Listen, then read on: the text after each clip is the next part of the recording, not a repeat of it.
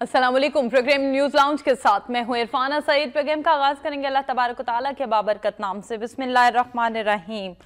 اسے نرمی سے سمجھاؤ کہ شاید وہ سمجھ لے یا ڈر جائے۔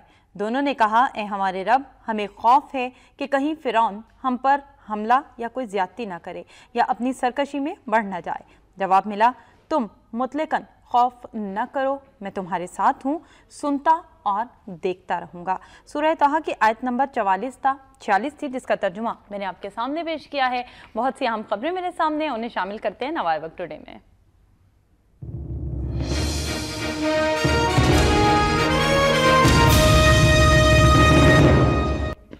اور سب سے پہلے army chief general Raheel Sharif کا بیان، اقتصادی راہداری کی سیکیورٹی قومی ذمہ داری۔ بر وقت تکمیل یقینی بنائیں گے کہنا ہے army chief general Raheel Sharif کا سازگار ماحول فراہم کرنے پر چینی حکام نے شکریہ ادا کیا۔ نب کے وزیر اعلیٰ سندھ کا انتخاب آج ہوگا احتجاجن ووٹنگ ڈرامہ میں حصہ نہیں لیں گے۔ یہ کہنا ہے، متحدہ کا Muslim League Noon Functional League امیدوار نہیں لائیں۔ کشمیر کے بغیر مذاکرات ممکن نہیں تنازع جنرل اسمبلی میں بھرپور طریقے سے اٹھائیں۔ گے۔ یہ کہنا ہے پاکستان کا، جبکہ اسلام آباد کے لیے اربوں کراچی میں کیمرے لگانے کو فنڈز نہیں، کیا دارالحکومت والوں کا خون زیادہ اچھا ہے؟ یہ کہنا ہے جسٹس خلجی کا، جبکہ چیف جسٹس کراچی بدمنی کیس سے الگ ہو گئے ہیں۔ یہ بہت سی اہم خبریں ہیں اور انہی اسی کے حوالے سے ہم بات کریں گے اور دیگر تمام موضوعات کو بھی ہم گفتگو کا حصہ بنائیں گے۔ انڈونیشیا میں ذوالفقار علی کی سزائے موت پر بھی عمل درآمد روک دیا گیا ہے۔ کلمال روڈ پر جشن بھی منایا گیا ہے۔ اہل خانہ نے خوشیاں منائیں، جشن منایا اور وزیر اعظم یا نواز شریف نے بھی اسے قوم کے لیے ایک اچھی خبر ایک خوشی کی خبر قرار دیا ہے۔ اس پر بھی ہم بات کریں گے۔ میرے ساتھ پیغام میں شریک گفتگو شخصیت جو کسی تعارف کے معتاد نہیں فضل حسین نوان صاحب۔ فضل صاحب میں آپ کو خوش آمدید کہتی ہوں پروگرام میں۔ اور پروگرام کا میں آغاز کرنا چاہوں گی آرمی چیف کے بیان کے حوالے سے۔ Army chief general Raheel Sharif بلا شبہ ہر محاذ پر بہت ہی خوبصورت انداز سے بہت ہی بھرپور طریقے سے لڑتے ہوئے دکھائی دے رہے ہیں۔ دہشت گردی کے حوالے سے جنگ تو ہم جیتے ہوئے نظر آ ہی رہے ہیں اس کے منطقی انجام تک پہنچا رہے ہیں۔ اقتصادی راہداری کے حوالے سے جو آرمی چیف کا بیان ہے اس پہ آپ کیا کہیں گے؟ ہاں بالکل جی اقتصادی راہداری ہمارے لیے واقعی ایک گیم چینجر ہے۔ ہماری ترقی اور خوشحالی کی ضمانت یہ منصوبہ ہے اس میں کوئی شک والی بات نہیں ہے۔ اور اتنا بڑا منصوبہ فارٹی سکس وہ بلین ڈالر کا اس کے اوپر ہمارے جو دشمن ہیں وہ بڑے تل ملا رہے ہیں۔ ان کو بہت زیادہ تکلیف ہے اور ان میں سر فہرست بھارت ہے۔ بھارت نے جس طریقے سے کالا باغ ڈیم کو ناکام بنانے کے لیے اس کی تعمیر کے خلاف جس طریقے سے فنڈ قائم کیا ہوا ہے اور اس کے مخالفین کو وہ ادائیگی کرتا ہے سالانہ کی بنیاد کے اوپر، اسی طریقے سے اس کی راہ میں ایک سپیشل ڈیسک کھول دیا گیا، اس کے لیے فنڈ مختصر کر دیا گیا راہداری منصوبے کو ناکام بنانے کے لیے۔ تو اس حوالے سے پھر چیمگوئیاں چیمگوئیاں دنیا میں ہو رہی ہیں، ہوتی رہی ہیں۔ یہاں پاکستان میں بھی راہداری کے اوپر کچھ لوگ ہیں، کچھ پارٹی ہیں جنہوں نے تحفظات کا اظہار کیا۔ بہرحال اس معاملے میں ہماری حکومت نے ان کے تحفظات دور کیے۔ لیکن وہ تھوڑے دنوں بعد پھر ان کے تحفظات پھر دوبارہ سے وہ معاملات، لیکن جس طرح سے کالا باغ ڈیم کی مخالفت ہوئی ہے، اس طریقے سے راہداری کی مخالفت ہونے لگی تھی، لیکن وہ ٹیمپو اس میں نہیں آ سکا۔ وہ بھارت ٹیمپو نہیں لا سکا، یا ہمارے حکمرانوں کی وجہ، یا حکومت کی وجہ سے، یا ہمارے سیاستدانوں کی وجہ سے۔ وہ اس طریقے سے مخالفت اس کی نہیں ہوئی۔ بہرحال اس کی پاکستان کے اندر سے مخالفت اس طریقے سے نہیں ہوئی، جس طریقے سے کالا باغ ڈیم کی ہو رہی تھی۔ بہرحال مخالفت، لیکن بیرونی لوگ جو ہیں، بیرونی کفتے جو ہیں، وہ تو مخالفت اس کی کر رہی ہیں۔ تو اس حوالے سے فوج کو پھر یقین دلانا پڑتا ہے بار بار کہ نہیں، یہ تو ہو ہی نہیں سکتا، راہداری منصوبے کو کامیاب بنا کے اس کو پایا تکمیل تک پہنچا کے رہیں گے۔ تو آرمی چیف ایک دفعہ نہیں چین جا کے ان کو یقین دہانی کروا کے آئے ہیں۔ پاکستان میں اس یقین کا اظہار کرتے رہتے ہیں وہ۔ حالانکہ یہ کام حکومت کا ہے سیاسی حکومت کا ہے۔ بہرحال جس طریقے سے اس میں تو کوئی شک والی بات نہیں ہے کہ یہاں پہ مقتدر قوتیں اس حوالے سے اگر میں وہ اشارہ تانی بات کروں تو آرمی کی طرف سے یقین دلانا بھی میرا خیال ہے کہ بڑا ضروری ہے۔ لیکن یہاں پہ آرمی چیف گئے ہیں وہ چین کی لبریشن آرمی کی تقریب میں وہاں جا کے ہوٹل میں جا کے انہوں نے تقریر کی ہے۔ چینی سفیر تھے دوسرے لوگ تھے۔ اور انہوں نے وہاں جا کے ایک اور ایسی بات کہہ دی جو ہمارے حکمرانوں کے لیے بڑی تکلیف دے ہے۔ انہوں نے کہہ دیا جی کہ دہشت گردی جرائم اور کرپشن کا گٹھ جوڑ توڑیں گے۔ تو یہ ہماری حکومت سیاسی حکومت جو اس کے لیے معاملات خاص کر رانا ثناء اللہ صاحب یا دوسرے لوگ ان کو بڑی اس معاملے میں تحفظات یا اعتراضات ہوتے ہیں یا شکایات ہوتی ہیں کہ آرمی چیف یا فوجی کون ہے یا کون وہ لوگ کیسے یہ کہہ سکتے ہیں جی کہ فوج کرپشن کا یا کرپشن ختم کرے گی یا جرائم ختم کرے گی فوج کا جو کام ہے وہی کام ہے۔ تو فوج نے حالانکہ فوج کو ضرب عذب ہے کراچی آپریشن ہے اس ان معاملات میں فوج کو ملوث اسی حکومت نے کیا ہے۔ صحیح۔ کیا ہے یا ہو گئی ہے وہ بہرحال وہ لیکن جب وہ کہتے ہیں جی کہ دہشت گردی کرپشن اور جرائم کا گٹھ جوڑ توڑیں توڑیں گے یا ان اس کا عزم انہوں نے ظاہر کیا ہے تو وہ وہ پھر اس حکومت کے لیے وہ مسئلہ یہ بیان وہ اس کو خوش دلی سے یہ حکومت نہیں لیتی۔ حالانکہ ہمارا واقعی بہت بڑا مسئلہ بہت بڑا مسئلہ دہشت گردی کے بعد کرپشن ہے۔ جی۔ جس نے تو ہر شعبے کو، ہر ہر محکمے کو، ہر ادارے کو ہلا کے رکھ دیا ہوا ہے۔ اور آج ہماری جو ففٹی پرسنٹ سے زیادہ لوگ خطے غربت سے نیچے زندگی بسر کر رہے ہیں خط خط غربت سے نیچے زندگی کا مقصد یہ ہے کہ ان کو معیاری ہی نہیں ان کو بالکل اپنے کھانے پینے کے لیے جو خوراک درکار ہے زندہ رہنے کے لیے وہ بھی مناسب ان کو نہیں مل رہی۔ ہاں تو وہ سارا جب آپ اس کا جائزہ لیتے ہیں تو اس میں کرپشن پہلے درجے کے اوپر آ جاتی ہے جس نے ہمارے ملک کی جڑیں اس طریقے سے غربت کا غربت کو جس طریقے سے فروغ دیا ہے۔ ہاں تو واقعی یہ اگر آرمی چیف یہ کہتے ہیں کہ دہشت گردی کرپشن اور جرائم کا گٹھ جوڑ توڑیں گے تو میں سمجھتا سمجھتا ہوں کہ حکومت کو اس کو اپنی فیور میں لینا چاہیے اور خود بھی اسی طرف جانا چاہیے۔ بالکل ٹھیک ہے۔ اچھا فوج کو تو اس طرف جانا ہی چاہیے۔ حکمرانوں کے حوالے سے بتائیے، حکمرانوں کو کیا کرنا چاہیے؟ کرپشن کے خاتمے کے لیے حکمرانوں کے حوالے سے جب بات کی جاتی ہے یا سیاستدانوں کے حوالے سے، ہمارے وہ لوگ جن کے ہاتھ میں ابھی حکومت ہے یا آنے والے وقتوں میں حکومت ہوگی، سیاستدانوں کی مجموعی طور پر میں بات کر رہی ہوں۔ اور وہی طبقہ ہمارے یہاں اشرافیہ بھی کہلاتا ہے۔ ان کی کرپشن کے حوالے سے کیا کہتے ہیں؟ یہ کہاں تک پرازم دکھائی دیتے ہیں کہ کرپشن کا خاتمہ ہوگا یا کر دینی ہاں، چاہیے؟ ہاں یہ ایک وہ آپ کہہ لیں کہ یہ تنزیہ نہیں بلکہ ایک مزاحیہ قسم کا سوال ہے کہ ہاں۔ یہ لوگ کرپشن کا خاتمہ کریں گے جو کرپشن کی خود وجہ ہیں۔ نہیں تو کبھی کبھی تو فل سٹاپ لگائیں نا ہاں۔ اپنی جو ان کی اتنی زیادہ خواہشات پوری کی جا رہی ہیں اتنے عوام کا پیسے سے ان کے سارے اخراجات پورے کیے جا رہے ہیں عوام کے پیسے کا عوام کے وسائل کا بے دریغ استعمال ہو رہا ہے۔ ہاں۔ کبھی تو ان کو فل سٹاپ لگے۔ کیا اب اپنی تجوریاں اتنی نہیں ہو گئی ہیں اتنا نہیں بھر چکی ہیں کہ اب یہ عوام کے پیسے کو اس طرح سے نہ بہائیں؟ ہاں نہیں ارشاد ارشاد پاک ہے کہ ان لوگوں کا پیٹ جو کرپ لوگ ہیں یا اس طرح کے لوگ ہیں یا کچھ لوگوں کا پیٹ وہ اس دولت سے نہیں بھرتا قبر کی مٹی سے جا کے بھرتا ہے۔ تو یہ وہ یہ بات ہوگی کہ کہاں پہ فل سٹاپ لگے گا۔ کرپشن میں جو سیاستدانوں کی کرپشن ہے بیوروکریسی کی کرپشن ہے جرنیلوں کی کرپشن ہے ججوں کی کرپشن ہے جرنلسٹ کی کرپشن ہے جو بھی کرپشن میں جو بھی ادارہ ہے بطور ادارہ یا بطور انڈیویجول کے جو بھی لوگ ہیں تو کرپشن ہمارا بہت بڑا المیہ ہے اور جن لوگوں نے ختم کرنی ہے وہی اس میں ملوث ہیں۔ آپ نیب کی بات کر لیں اس میں کرپٹ لوگ ہیں اینٹی کرپشن جن جو لوگ کرپشن کا خاتمہ کرنا رشوت کا خاتمہ کرنا چاہتے ہیں انہی لوگوں میں جن کو ہم ہمارے وہ خون اور پسینے کی کمائی سے ہمارے ٹیکسوں سے جن کی تنخواہیں جاتی ہیں بڑی بڑی تنخواہیں اور وہ اس کام کو روکنے کے لیے ہیں وہی اس میں ملوث ہیں۔ تو وہ پھر دیکھیں ہاں اس میں یہ ہے کہ فل سٹاپ لگے گا ضرور لگے گا اور جلدی لگنے والا ہے کیونکہ آپ اس دور میں یہ وہ دور نہیں رہا۔ یہ میڈیا کا دور ہے۔ اس میں آج صبح کی چیز دوپہر شام سے پہلے دوپہر دوپہر کو آپ کے سامنے آ جاتی ہے۔ تو جس حوالے سے وہ دیکھیں گے ہمارے واقعی بڑے شعور کی ضرورت ہے عوام میں وہ نہیں ہے لیکن پھر بھی میں سمجھتا ہوں کہ عوام میں شعور پہلے کی نسبت ذرا تھوڑا سا تیزی سے بڑھ رہا ہے۔ کرپشن کے حوالے سے یا حکومتی پالیسیوں کے حوالے سے اچھا اس میں پھر آپ کشمیر کی طرف نہ لے جائیں کہ اگر شعور بڑھ رہا ہے تو کشمیر میں کس طریقے سے وہ ہو گیا سارا کچھ۔ وہ ایک الگ الگ ایشو نہیں ہے بلکہ وہ ایک روایت ہے کہ جو مرکز میں حکومت ہوتی ہے وہی کشمیر میں اس کی حکومت بن جاتی ہے۔ درمیان میں الیکشن ہوں تو اسے پیپلز پارٹی بالکل ایکسپوز ہو چکی تھی دو ہو چکی تھی دو ہزار گیارہ میں۔ جی۔ اس کو بھی انہوں نے کشمیر میں جتا دیا۔ وہ جیت گئی وہ پارٹی آج مسلم لیگ نون جیت گئی ہے۔ وہ الگ ایک معاملہ ہے۔ تو بہرحال لوگوں میں شعور پیدا ہو رہا ہے بڑھ رہا ہے کرپشن کے حوالے سے اور دیگر معاملات کے حوالے سے ان کے مسائل حل کرنے کے حوالے سے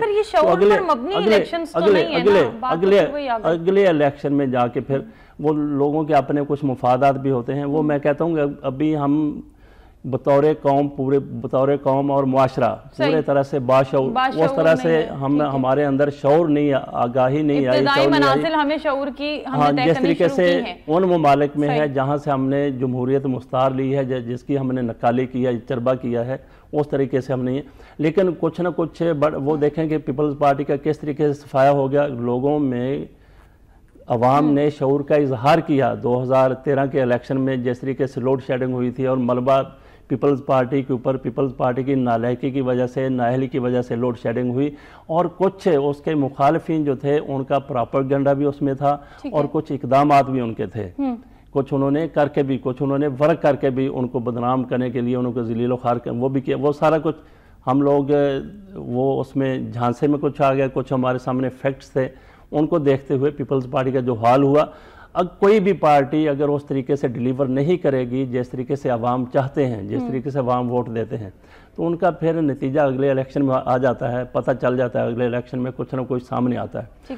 تو بات پھر ہم کر رہے تھے کہ کرپشن اور ایک منٹ وہ چھپ نہیں سکتا معاملہ لوگوں میں ایک شعور آ رہا ہے یہ کرپشن یہ دیکھیں کہ اس نے ختم ہونا ہے ایک دن۔ وہ صحیح طریقے سے ہو عوام کے ووٹ کی ووٹ کے ذریعے ہو جائے اگر اس کے ذریعے نہیں ہوتی پھر بھی جو مقتدر طاقتیں ہیں وہ ان کی نظر اس کے اوپر ہے۔ جنرل راہیل شریف اگر یہ خاتمہ نہیں کریں گے جس ہاں۔ طریقے سے لوگوں کی امید ہے جس طریقے سے وہ دعوے کرتے ہیں نعرے بھی لگاتے نعرے اب ہم اس کو کہہ لیں۔ کہ بڑے عرصے سے وہ یہ بات کر رہے ہیں کہ کرپشن اور دہشت گردی اور جرائم کا خاتمہ وہ گڑھ جڑ توڑ کے رہیں گے ٹوٹتا ہوا بھی نظر نہیں آیا۔ اس لیے ہم ان کو دعوے اور نعرے ہی کہہ سکتے ہیں۔ اگر یہ جنرل راحیل شریف یہ کام نہیں کریں گے اوپر بیٹھے یہ نہیں کہ آپ نے مارشلہ لگانا ہے آپ کے پاس اگر ایک قوت ہے طاقت ہے اس میں کوئی شک والی بات نہیں۔ کہ پس پس منظر میں کون سی طاقتیں یہاں پہ پاکستان میں زیادہ طاقتور ہیں، مضبوط ہیں۔ اگر ان طاقتوں نے اپنا کردار ادا نہ کیا، آج آج کی طاقتوں نے نہ کیا، تو کل کی طاقتیں ضرور کریں گی یہ جس طریقے سے کرپشن کے معاملات سامنے آپ کے آ رہے ہیں، اس کا کچھ نہ کچھ اینڈ ہونا ہے اور مجھے نظر آتا ہے کہ جلد اینڈ ہوگا۔ اچھا ان سارے معاملات کا تو اینڈ ہوگا۔ کرپشن کا اینڈ آپ نے کہا کہ حکمران خود نہیں کریں گے بلکہ ان سے کروایا جائے گا عوام کروائے گی۔ ہاں، یہ کر دیں تو کر دیں بہتر ہے کر دیں۔ اچھا کر دیں تو بہتر ہے۔ ہاں نہیں پھر عوام ہے عوام نہیں تو پھر وہ دوسری بڑی طاقتیں ہیں۔ ٹھیک ہو گیا۔ اچھا یہ کر دیں تو بہتر ہے کہ تھوڑی سی وضاحت کر دیں آپ طرح کر دیں تو بہتر ہے کہ وضاحت کریں تھوڑا سا مطلب کیسے کر دیں؟ خود سے سرنڈر کر دیں کرپشن کرنا چھوڑ دیں نئے پروجیکٹس کرپشن کے بند کر دیں۔ ہاں ہاں یہ دیکھیں مطلب نہیں جتنا ہو ہاں، گیا وہ تو ٹھیک ہے بالکل ہاں،, ہاں بالکل جتنا ہو گیا آگے جو نیا سلسلہ ہے اس کو بند کر دیا جائے۔ ہاں جتنا ہو گیا وہ ٹھیک نہیں ہے جتنا ہو گیا اس کو اگلیں اور اس کے بعد پھر توبہ طائب ہو جائیں۔ نہیں تو پھر دیکھیں کہ کچھ اچھا, پتہ نہیں اچھا اگر اگلے بغیر ہی توبہ طائب ہو جائیں تو؟ نہیں کیوں؟ تو پہلا پیسہ کہاں پرانا لینے آپ ہاں، نے ہاں بس پھر وہ اگلی کرپشن نہیں کریں گے۔ نہیں نہیں یہ دیکھیں کہ پھر تیار رہے ہیں کسی انہونی کے لیے۔ اللہ اچھا۔ نہ کرے کہ کچھ ایسا ہو۔ انجام کو بھگتنے کے لیے ہاں بالکل تیار۔ اور پاکستان میں ہمارا پھر علمیہ یہ ہے کہ اگر میں یہ دیکھیں کہ یہ میری رائے ہے کوئی سے اتفاق کرے نہ کرے۔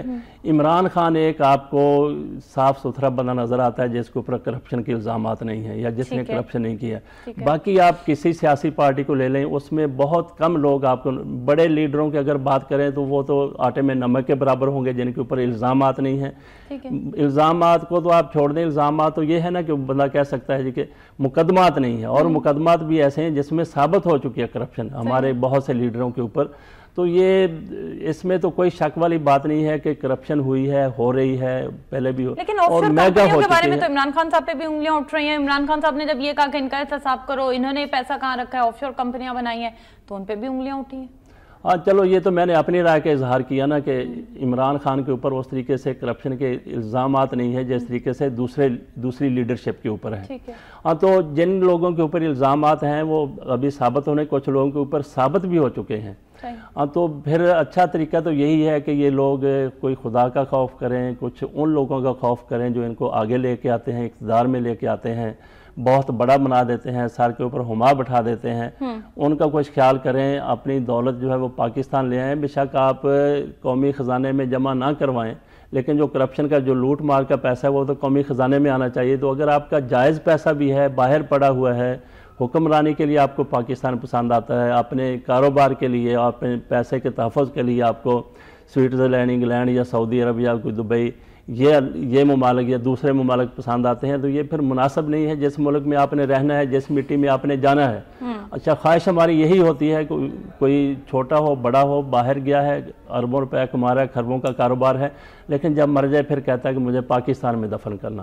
تو پاکستان حکومت کرنے کے لیے اور دفن کرنے کے لیے نہیں ہونا چاہیے ان لوگوں کے کام آنے کے لیے بھی ہونا چاہیے دیکھیں نا پھر اس لحاظ سے تو بڑے کام کی چیز ہے نا کہ جب زندہ ہوتے ہیں تو پاکستان کرسی دیتا ہے اقتدار دیتا ہے اور جب مر جاتے ہیں تو مزار بنا دیتا ہے۔ مزار تو پھر اس لحاظ سے تو بہت کام اقتدار اور مزار دونوں پاکستان میں لیکن باقی جو ہے وہ سارا کچھ باہر۔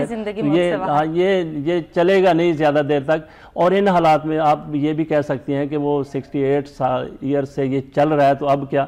اب یہ ہے کہ لوگوں میں شعور بیدار ہو رہا ہے اور میڈیا جو ہے وہ پل پل کی چیز ایک ایک پیسے کی آپ نے کرپشن کی ہے یا خیرات کی ہے وہ دنیا کے سامنے وہ لوگوں کے سامنے لا رہا ہے۔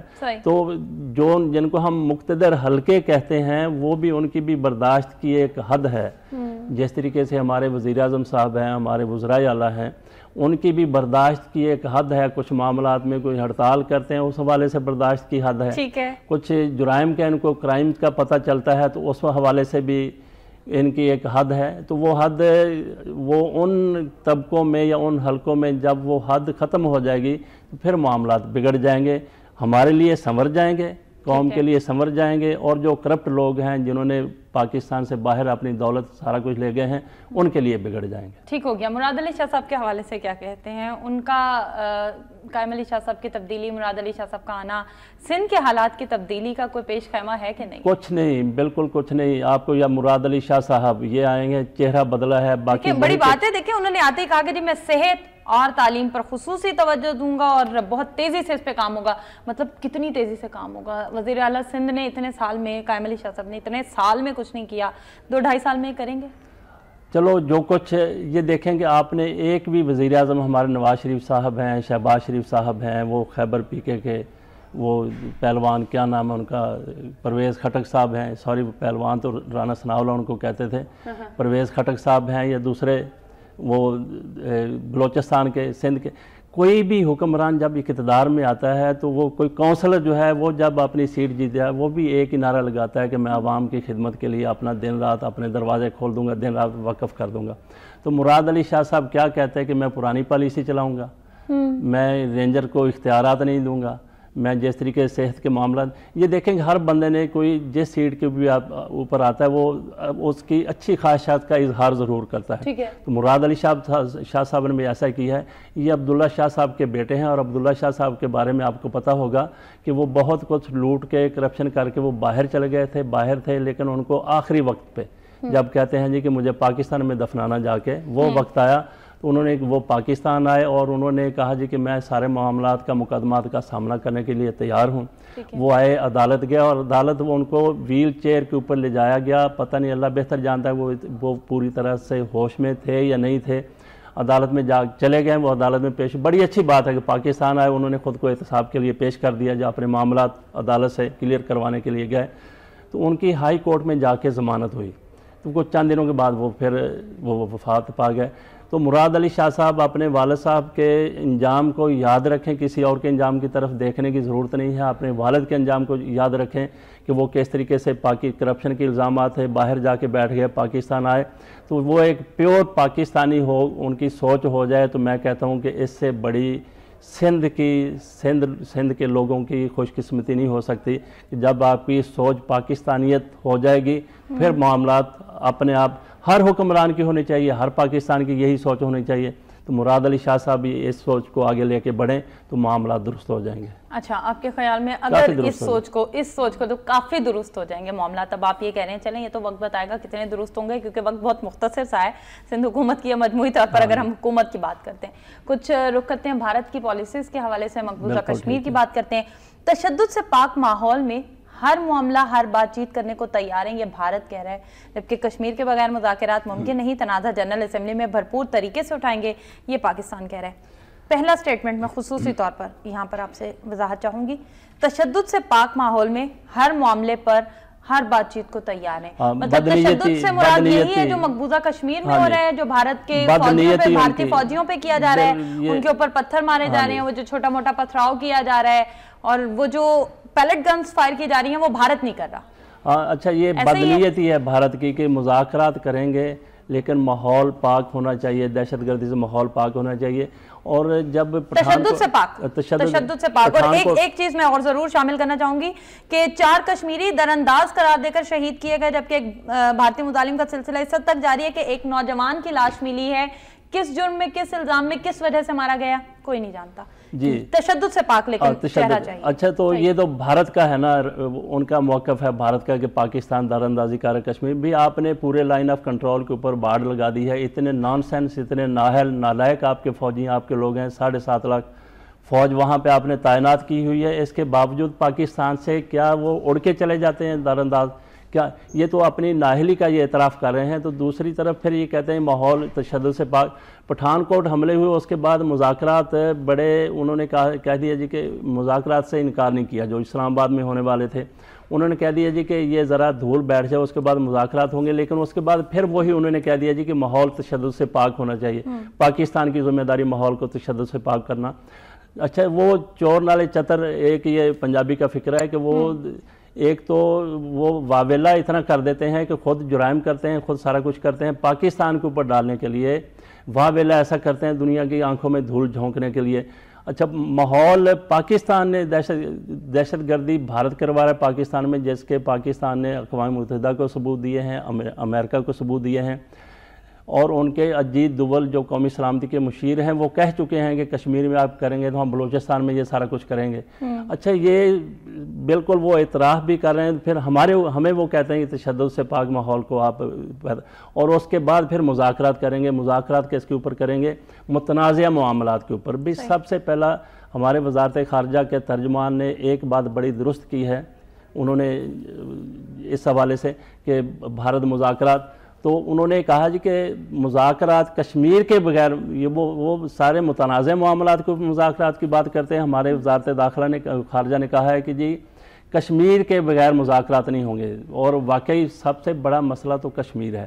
تو اگلی بات یہ ہے کہ بھارت کشمیر کے اوپر بربریت کر رہا ہے ظلم کر رہا ہے ستم کر رہا ہے۔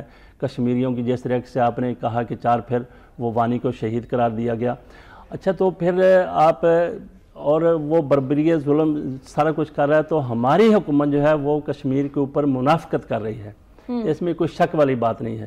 آپ کون سے مذاکرات کی آپ بات بھارت کے ساتھ بات کر رہے ہیں مذاکرات مذاکرات کس پہ آپ نے مذاکرات کرنے ہیں؟ کشمیر کے بغیر کہتے کہ نہیں ہو سکتے مذاکرات۔ یہ تیئیس جولائی کو اس سے پہلے ایک دو روز قبل میاں نواز شریف صاحب آزاد کشمیر گئے تھے انتخابی مہم وہ انتخاب جیتنے کے بعد مبارکباد کے لیے۔ تو وہاں پہ انہوں نے وانی کو شہید کہا تو اگلے دن ان کو ایسی وہ ان کی وزیر خارجہ سشما سراج اس نے ایسا شدت انہوں نے کہا جی کشمیر کو پاکستان بھول جائے ہاں پورا جی۔ کشمیر پاکستان کا حصہ ہے۔ یہ نواز شریف صاحب کون ہوتے ہیں؟ یہ بات کرنے والے وانی کو شہید قرار دینے والے۔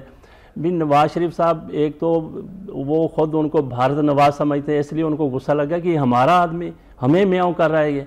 نواز شریف صاحب کے بارے وہ پاکستان کے وزیر اعظم ہے اگر تھوڑی سی بات انہوں نے کر دی وہ بھی ان سے ہضم نہیں ہو سکی۔ کہتے ہیں جی پورا کشمیر ہمارا حصہ ہے۔ تو یہ مذاکرات ہم کس کے اوپر کریں گے؟ ہمارے اگر وہ کشمیر کے اوپر کہتے ہیں مذاکرات کرنے ہیں ہماری وزارت خارجہ داخلہ کہتی ہے خارجہ کہتی ہے ہمارے بڑے لوگ کہتے ہیں مشیر خارجہ کہتے ہیں یا جو ترجمان وہ کہتے ہیں۔ مذاکرات اپنے کس کے اوپر کرنے ہیں؟ کشمیر کے اوپر کیا مذاکرات آپ کریں گے؟ اور مسئلہ کشمیر اقوام متحدہ میں آپ لے گئے ہیں وہ اقوام متحدہ میں پہلے مسئلہ کشمیر کیا موجود نہیں ہے۔ تو یہ دیکھیں اس میں آپ بھارت کے ساتھ مذاکرات وہ تو پورے کشمیر کو کہتے ہیں ہمارا حصہ ہے۔ ان کا موقف اور ٹو ٹانگ کا موقف آپ کے سامنے آ گیا۔ سشما سوراج نے جو کہہ دیا کہ پورا کشمیر ہمارا حصہ ہے پاکستان اس کو بھول جائے۔ آپ اس کے اوپر پھر کیا مذاکرات کرنا چاہتے ہیں؟ انڈیا کا موقف آپ کے سامنے آ گیا۔ خدا کے بندوں دیکھیں کہ کتنی ٹینشن ہوئی ہے۔ معمولی سے بات ہو جائے تو بھارت دوستی بند، سروس سمجھوتا ایکسپریس دوستی بات سروس بند کر دیتا ہے، تجارت بند کر دیتا ہے۔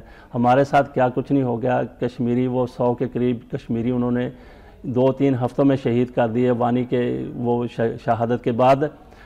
تو دیکھیں، پھر بھی ہم بات کر رہے ہیں، انہوں نے یہ اتنا ظلم کر دیا، ستم کر دیا، پھر بھی ہم مذاکرات کی بات کر رہے ہیں۔ اور پھر یہ دیکھیں کہ بڑی تکلیف دہ بات ہے کہ بھارت سارا کچھ کر دیتا ہے معمولی سے ایک وہ لائن آف کنٹرول کے اوپر کوئی تھوڑی سی فائرنگ ہو جائے یا کوئی ایک ٹرک پکڑا جائے۔ لیکن ہماری تجارت آج بھی جاری ہے بھارت کے ساتھ۔ یہ منافقت نہیں تو پھر اور کیا ہے؟ آپ اقوام متحدہ میں چلے گئے ہیں عالمی برادری کو آپ کیا ظاہر کر رہے ہیں کہ یہ اتنا بڑا مسئلہ نہیں ہے؟ مسئلہ اگر ہو تو ہم ان کے ساتھ تجارت بھی نہ کریں تعلقات بھی نہ رکھیں دوستی بھی نہ رکھیں۔ ایک طرف آپ بھارت کے خلاف مسئلہ کشمیر کو لے کے اقوام متحدہ میں جا رہے ہیں سفیروں کو بلا رہے ہیں اپنی سفارت کاری کو تیز کر رہے ہیں اور دوسری طرف آپ کی تجارت جاری ہے آپ کے خرم دستگیر صاحب وہ فرماتے ہیں جی کہ مجھے نہیں پتا کہ تجارت ہو رہی ہے نہیں۔ یہ دیکھیں ہمارے وزیر تجارت ہیں وہ کہتے ہیں جی کہ مجھے علم نہیں ہے کہ وہ تجارت وہ معاملہ تجارت ہو رہی ہے، نہیں ہو رہی، کس کو پھر معلوم ہونا چاہیے؟ اور وہ تجارت جو ہے، ہمارے ہاں خبریں لگتی رہتی ہیں۔ پھر کامرس رپورٹر ہمارے کہتے ہیں، تجارت بھی خسارے کی ہے۔ گھاٹا بھی پاکستان کو ہو رہا ہے اور اپنے موقف سے بھی ہم اسی وجہ سے تھوڑا پیچھے ہٹ رہے ہیں۔ تو یہ پھر اس کو آپ کیا منافقت نہیں تو کیا کہیں یہ تو پاکستانی حکومت کی بات ہو گئی یا پاکستانی حکومت کے موقف کی بات ہو گئی۔ دنیا کو نظر نہیں آتے ہیں کشمیر کے مظالم؟ پوری دنیا کہاں ہے؟ پوری یہ دیکھیں کہ پاکستان اس کشمیر کے تین فریق ہیں پاکستان ہے انڈیا ہے اور کشمیری ہیں۔ کوئی تو آواز بلند ہاں، کرے نا کشمیریوں کے لیے کوئی تو اس مسئلے کا بھارت نے تو آواز دبانی ہے کشمیری اپنی آواز بلند کر رہے ہیں۔ پاکستان یہ دیکھے کہ تقسیم ہند کا یہ نامکمل ایجنڈا ہے۔ جب تک کشمیر کا فیصلہ نہیں ہو جاتا پاکستان کے ساتھ اس کا الحاق نہیں ہو جاتا تقسیم کشمیر کا ایجنڈا مکمل نہیں ہے۔ اس کے سوا اس کے علاوہ تو یہ بلند آواز تو آپ نے بلند کرنی، عالمی برادری تک آپ بات پہنچائیں گے، یہ پاکستان بات پہنچائے گا تو عالمی برادری کچھ کرے گی نا۔ تو آپ تو پھر ان کے ساتھ مذاکرات، اگر آپ نے مذاکرات انڈیا کے ساتھ کرنے ہیں تو ایک چیز کے اوپر ہو سکتے ہیں۔ اقوام متحدہ نے تجویز پیش کر دی ہے، وہ قرارداد پاس ہوئی ہے جس میں انڈیا بھی شامل ہے۔ قرارداد پاس کرنے میں کہ کشمیریوں کو حق خود ارادیہ دیا جائے ان کو اظہار رائے کا موقع دیا جائے کہ پاکستان کے ساتھ شامل ہونا چاہتے ہیں انڈیا کے ساتھ یہ دیکھیں یہ یہ تجویز یہ صدی سے زیادہ ہو گیا۔ فضل صاحب یہی بات کرتے ہوئے کہ حق خود ارادیہ دیا جائے۔ ہاں تو اس کے اوپر اگر آپ نے مذاکرات کرنے آپ نے اور کس آپ اس کے اوپر مذاکرات کریں ان سے آپ پوری دنیا کے اوپر زور ڈالیں کہ بھارت سے یہ تاریخ لے کے دیں کہ فلاں تاریخ کو یا فلاں مہینے کو وہ رائے شماری کے لیے تیار ہے اقوام متحدہ قراردادوں کے مطابق۔ اس کے علاوہ بھارت کے ساتھ مسئلہ کشمیر کے اوپر کوئی مذاکرات کوئی بات نہیں ہونی چاہیے۔ صرف ایک چیز کے اوپر میں پھر دہرا دوں کہ آپ اس سے بھارت سے یہ بات کریں کہ وہ رائے شماری کب کروا رہا ہے۔ ٹھیک ہے۔ اچھا اگر بھارت سے رائے شماری کے حوالے سے یا کشمیر کے حوالے سے بات کی جائے تو وہ ہمیشہ ایک ہی بات کرتا ہے۔ وہ یہ کہتا ہے کہ پہلے دہشت گردی ختم کی جائے اور اپنا چہرہ ذرا صاف ستھرا کیا جائے، اپنے حالات صحیح کیے جائیں۔ پاکستان کے بارے میں وہ یہ بات کرتا ہے۔ اور اس کے بعد ہم جو ہے نا، وہ دہشت گردی ختم ہونے کے بعد پاکستان کے ساتھ مذاکرات کی میز پر آئیں گے۔ کشمیر کے حوالے سے اگر بات کرنی ہو تو۔ پاکستان سے یہ تمام تر مسائل کیا آپ کو لگتا ہے کہ بھارت کی نظر میں ختم ہوں گے؟ نہیں نہیں سوال ہی پیدا نہیں ہوتا بھارت کے اپنے اندر کے مسائل ہاں۔ ہیں کہ دلت جوڑے کو پندرہ روپے ہاں۔ کے لیے قتل کر دیا گیا ہاں، یہ بھارت کا اپنا چہرہ ہے۔ نہیں یہ تو ہمارا بھی اتنا کوئی چہرہ شفاف نہیں ہے۔ ہمارے ہاں بھی دس روپے کی خاطر قتل ہو جاتے ہیں بہت کچھ ہوتا ہے۔ تو اس چیز کو دلتوں کی ان کی تو بیچاروں کی بالکل ہی وہ آتما رولی ہوئی ہے وہاں پہ۔ ان کو تو انسانی حقوق تک وہاں پہ نہیں ہے۔ لیکن ہمارے ہاں تو صورتحال بہت بہتر ہے۔ لیکن اس اس چیز کا وہ تو ان کا اندرونی معاملہ آپ سمجھ لیں اس کو یا انسانیت کے انسانیت کے لیے ان کی کہاں تک وہ لوگ ہیں انسانی حقوق کے حوالے سے کیا کچھ وہاں پہ ہو رہا ہے۔ تو کشمیر میں بھی اس سے زیادہ انسانی حقوق کی خلاف ورزی ہو رہی ہے۔ تو ان چیزوں کا میرے خیال کشمیر کے ساتھ کوئی تعلق نہیں ہے۔ کشمیر کے ساتھ آپ کا سوال تو یہ تھا نا کہ وہ پاکستان سے ایسا تو یہ تو سوال ہی پیدا نہیں ہوتا ہے کشمیر کے موضوع پہ تو آتا ہی نہیں نا مذاکرات کے لیے میرا تو سوال ہی یہی ہے کہ بھارت مذاکرات کے لیے آئے گا تو کشمیر کے موضوع پہ کیسے بات کرے گا؟ ہاں بالکل وہ پاکستان کو جس طریقے سے کہتا ہے کہ وہ یہ کر کے دکھائے وہ تو سراسر اس کے الزامات ہیں سراسر لغب ہے وہ جھوٹ ہے سر بے بنیاد ہے۔ تو پاکستان کیسے کر کے دکھائے؟ وہ آپ اپنی ساڑھے سات لاکھ فوج وہاں سے واپس لے جائیں۔ وہاں پہ جو انسانیت سوز قسم کے پوٹا اور ڈیٹا قسم کے قوانین بنے بنے ہوئے ہیں، وہاں ان کو آپ ختم کریں انسانی حقوق کی۔ یہ دیکھیں کہ اقوام متحدہ وہ بھی وہ بھی اپنا کردار اس طریقے سے ادا نہیں کر سکی، کر رہی، کر سکی ہے، نہ کر رہی ہے، جو وہاں پہ ہونا چاہیے۔ اقوام متحدہ کی رپورٹوں میں کہا گیا ہے کہ پوری دنیا میں انسانی حقوق کی سب سے زیادہ خلاف ورزی اس مقبوضہ مقبوضہ وادی میں ہو رہی ہے۔ اگر ہو رہی ہے تو اس کو روکنے کے لیے وہ کوئی اقدامات سامنے نہیں آتے۔ تو یہ پھر اقوام متحدہ کا کردار دیکھ لیں وہ بھی اس طریقے سے نہیں ہے جو ہونا چاہیے۔ اگر اقوام متحدہ واقعی اتنی طاقتور ہے تو وہاں پھر رائے شماری کروا کے دکھا دیں۔ چلیں ٹھیک ہے اب کچھ اندرونی معاملات کے عدلیہ کے حوالے سے کچھ بات کرتے ہیں۔ چیف جسٹس کراچی بدمنی کیس سے الگ اسلام آباد کے لیے اربوں کراچی میں کیمرے لگانے کو فنڈز نہیں دارالحکومت والوں کا خون کیا زیادہ اچھا ہے؟ یہ کہنا ہے جسٹس خلجی کا۔ مجموعی طور پر اگر دیکھا جائے تو ہمارے جو حالات ہیں اس سے ہماری عطلیہ بھی مجبور دکھائی دیتی ہے اس سے ہماری مقننہ بھی مجبور دکھائی دیتی ہے اس سے ہمارے دیگر ادارے بھی مجبور دکھائی دیتے ہیں۔ یہ اندرونی حالات کیسے ٹھیک ہوں گے؟ اندرونی حالات یہ دیکھیں جی کہ ہمیں عدلیہ ہماری سپریم کورٹ ہماری عدلیہ بہت ہی مضبوط اور طاقتور ہے۔ اس میں تو کوئی گنجائش والی بات کوئی ایسی بات نہیں ہے۔ دو رائے نہیں ہے۔ لیکن عدلیہ کو ہمیں یہ عدلیہ ایسے عموماً یہ ہے کہ ایک لفظ سیاپا کرتے ہی نظر آئی ہے کہ یہ نہیں ہوا، وہ نہیں ہوا، ہمارے احکامات کے اوپر عمل درآمد نہیں ہوا۔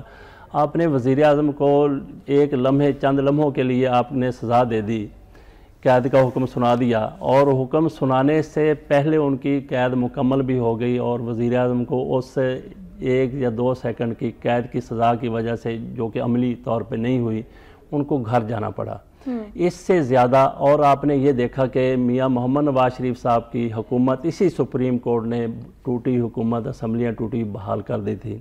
اور یہی سپریم کورٹ ہے یہی عدلیہ ہے جس نے بے نظیر بھٹو کی حکومت بحال نہیں کی۔ دو دفعہ ان کی حکومت ٹوٹی تھی وہ بحال نہیں کی۔ میاں نواز شریف صاحب کی دوبارہ۔ اور یہی عدلیہ ہے جس نے جنرل میں کہہ رہا ہوں کہ طاقتور عدلیہ جس نے جنرل ضیاء الحق کو اس کے مارشاء اللہ کو جائز قرار دے دیا مشرف کے مارشاء اللہ کو جائز قرار دے دیا اور دونوں کو مشرف اور جنرل ضیاء الحق کو نہ صرف ان کے مارشاء اللہ کو جائز قرار دیا اور جو انہوں نے پوچھا نہیں تھا اور ان کو وہ بھی ترمیم کا حق دے دیا اختیار دے دیا کہ وہ آئین میں ترمیم کر سکتے ہیں۔ جنرل ضیاء الحق بھی اور مشرف بھی الگ الگ یہ بینچ تھے عدلیہ کے۔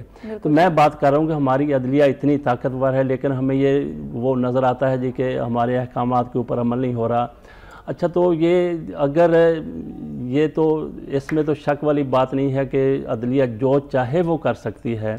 تو ہمیں اس طریقے سے بیان، بیانات کی ضرورت نہیں ہے۔ جس طریقے سے آج بھی انہوں نے کہا جی ان کا خون کیسا ہے، ان کا خون کیسا ہے۔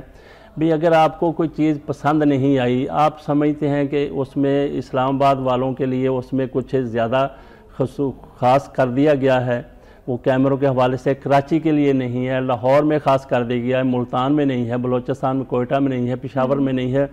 تو آپ وہ دنیا کو بتانے کے لیے کہ یہ اور آپ اس کی ہمیں ضرورت نہیں ہے۔ وہ انفارمیشن دینے کے لیے ہمارے لیے میڈیا موجود ہے کہ ہمیں عدالتوں سے نہیں چاہیے کہ عدالتیں ہمیں خبریں دیں یا انفارمیشن دیں۔ ہم تو عدالتوں سے یہ چاہتے ہیں عام آدمی تو یہ انصاف کی توقع کرتا ہے۔ جہاں آپ کو کوئی غلط چیز نظر آتی ہے آپ کو درست کر کے دکھا دیں۔ اگر آپ کو اس کراچی میں کیمروں کی ضرورت ہے تو پھر آپ وہاں پہ لگوا کے دکھا دیں۔ کیونکہ یہ دیکھیں کہ ایک وزیر اعظم کو گھر بھیج سکتی ہے عدلیہ تو اچھا کیمرے بھی کام نہیں کرتے۔ فضل صاحب جو لگے ہوئے کیمرے ہیں وہ بھی کام نہیں کرتے۔ آٹھ سو کے تعداد میں آٹھ سو سے زائد کے تعداد میں کیمرے ہیں۔ ان کو پکڑیں۔ ان میں سے چند کیمرے سے چل رہے ہیں۔ ان کو پکڑیں جو جس طریقے سے بے ضابطگیاں ہو رہی ہیں۔